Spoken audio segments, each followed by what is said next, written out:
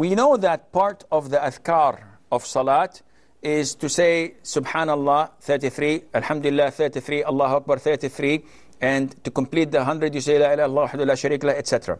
And there is a one that says Allah Akbar 34 times instead of 33. And there's a third version where you say Subhanallah 10, Alhamdulillah 10, Allah Akbar 10, and that is it. So can we combine? The answer is no.